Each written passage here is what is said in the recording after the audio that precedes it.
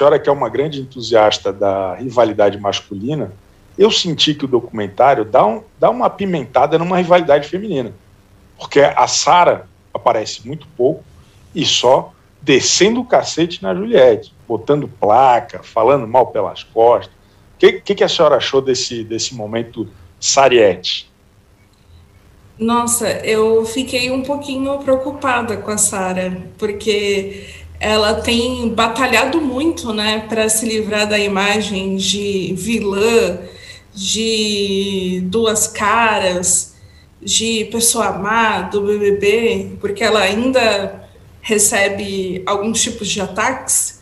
Não sei, não sei que tipo de ataque, eu só vejo ela reclamando. Mas é, isso ainda acontece de fato. E aí vem o documentário assim para lembrar, bom, vocês esqueceram tudo que a Sara falou da Juliette. Então toma aqui. Eu acho que a situação vai ficar pior para Sara, justamente porque o documentário ele eu tive também uma sensação muito grande de colocar a Juliette como um exemplo de cidadã, de ser humano, como o melhor ser humano que existe na face da Terra. Eu não estou criticando a Juliette, eu só estou colocando que é essa sensação que a construção da história tá, que a Juliette é perfeita, porque até quando coloca os erros da Juliette, né, é sempre muito justificado, tudo tá muito correto, assim, não, a Juliette fugia de casa para ir para festa, mas ela não fugia para ir namorar. Ela fugia para ir dançar para cantar.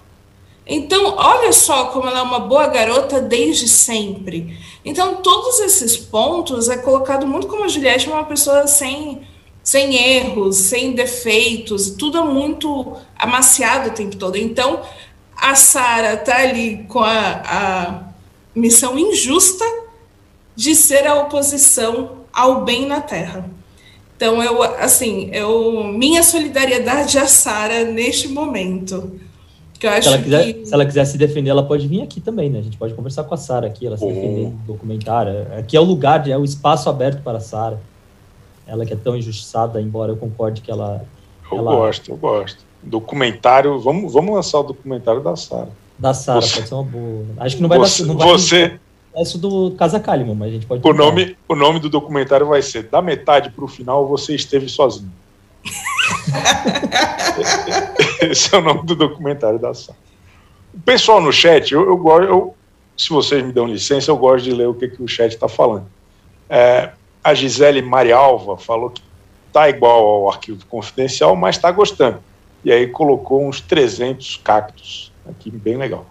É, o Maurício Vanderlei falou Chico escorado na Juliette ainda. Com orgulho, não tem problema nenhum. Não, não só o Chico, né? O Chico, a Globo, tá todo mundo Pô, se escorando na Juliette até é, agora. A os Anitta. os cactos, não é verdade? O Brasil. Aliás, um, só uma, uma, observação que Diga. pouca gente percebeu, mas o Neymar consegue aparecer no documentário também, porque a irmã do Neymar tá no documentário. Ela é uma das famosas que aparece ali. No, Ela... Não entendi ah, o que, que a Rafaela tá fazendo ali. Colocaram a Rafaela ali. Eu achei curioso isso. É, é a Rafaela mais querida do Globoplay. Brincadeira, brincadeira, brincadeira.